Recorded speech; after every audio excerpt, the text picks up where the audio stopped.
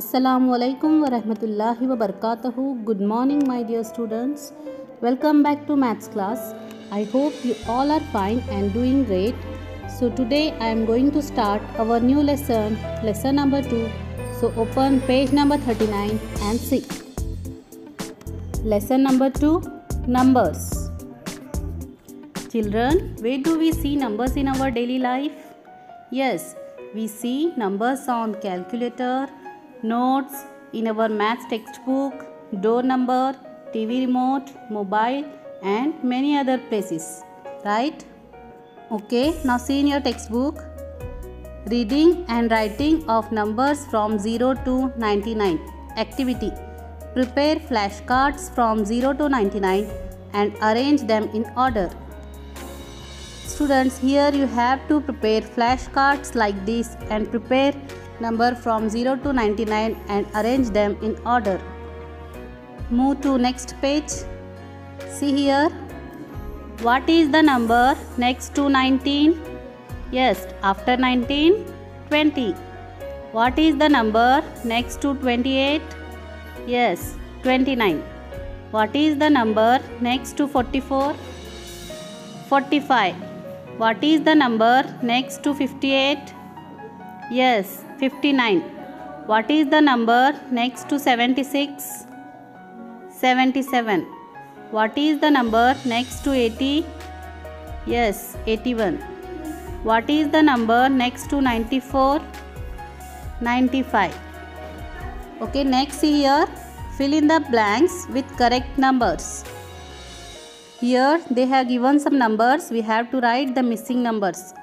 See here 19, 20, 21, 22, 23, 24, 25. Next 34, 35, 36, 37, 38, 39, 40. Like this you have to complete this table. Next activity see here snake ladder game. Here is a snake and ladder board. Fill in the missing numbers. Students, here we have a picture. It is a picture of snake and ladder. Here they have given only some numbers. We should fill the missing numbers. Okay, let us complete this. They have given some numbers like 1, 3, 6, 8, 11, 16, 20 like this. First you have to complete this table. After that we should answer the questions. See here. Answer the following questions from the above snake and ladder board. First one. A snake has its head on a square with fruit. Name the number of the square. See here. That is 94. Okay. Write 94 here. Okay, next question. In which number box is the head of snake holding star?